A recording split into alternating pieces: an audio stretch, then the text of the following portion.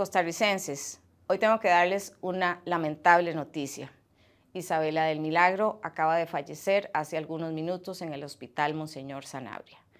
Sin lugar a dudas, este hecho tiene que marcar un antes y un después en la forma de atención a las madres y bebés recién nacidos en nuestra institución.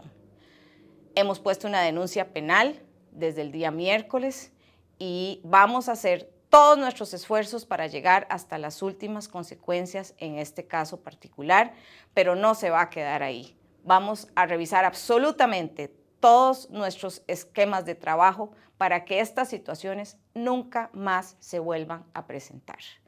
Desde acá les mandamos un abrazo fraterno a toda la familia de Isabela que pasa por este momento tan doloroso y nuestro cariño solidario para esta familia que hoy sufre esta pérdida.